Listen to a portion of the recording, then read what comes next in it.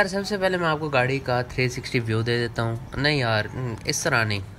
यार इस तरह दिखाने में कोई चास नहीं आती। हम ज़रा ज़रा अपनी तरफ़ से ज़रा थोड़ा सा मसाला फेंक के बताते हैं कि असल वीडियो बनती कैसे है।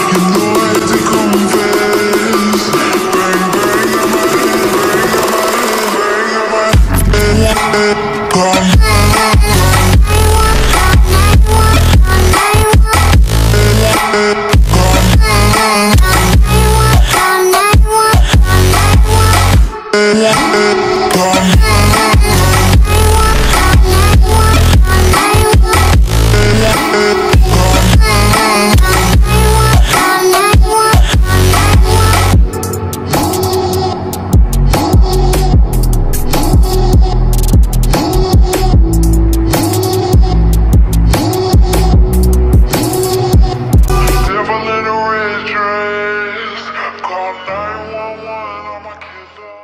यार, अब गाड़ी पे आ जाते हैं। गाड़ी का ज़रा सीन इस तरीके है कि स्पॉयलर आफ्टर मार्केट इंस्टॉल हुआ हुआ है। इसकी लाइट्स बफिंग नहीं है, बिल्कुल क्लियर लाइट्स हैं। जिसने भी रखी है यार, बड़े अच्छे अंदाज में गाड़ी रखी हुई है।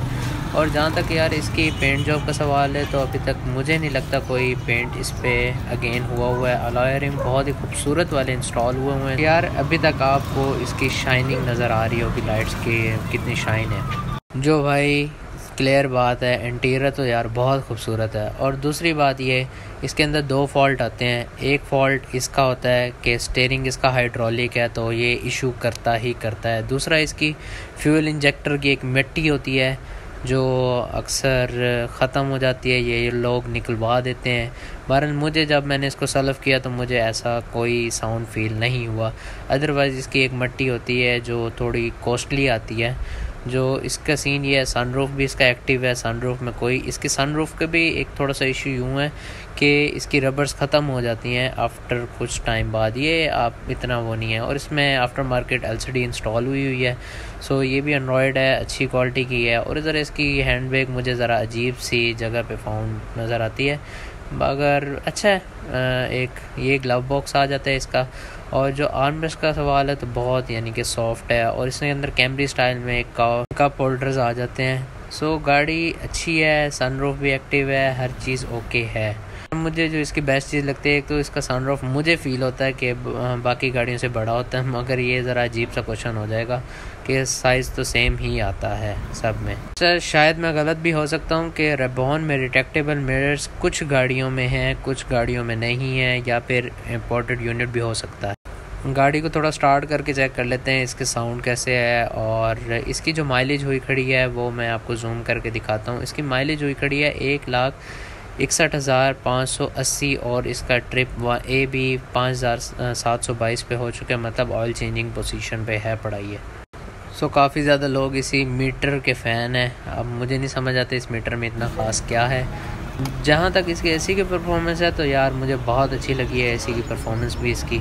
और काफ़ी ज़्यादा लोगों को यही मसला होता है कि यार इसका एसी काम नहीं करता। और एक मेन और बड़ा सवाल लोगों का कि यार इसकी फ्यूल एवरेज इतनी कम की? और इसका जो इंजन है वो 1.8 लीटर है मतलब 1800 सीसी इंजन है। बाकी आपको जो न्यूटन मीटर टॉर्क वगैरह जो आपको वो इंटरनेट भी आराम से प्रोवाइड कर सकता है। बाकी जहाँ तक इंजन की कंडीशन है तो बड़ा ही खूबसूरत इंजन पड़ा हुआ है। मगर ये है जो लेगा उसको अपने हिसाब से से ट्यून करवाना पड़ेगा।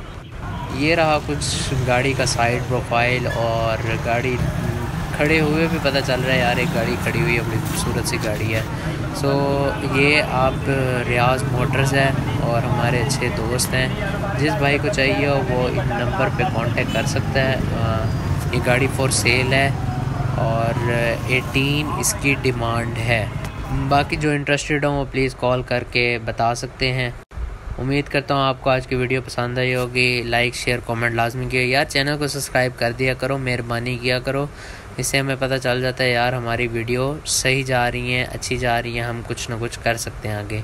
सो मिलते हैं नेक्स्ट वीडियो में। ओके अल्लाह हाफिज़।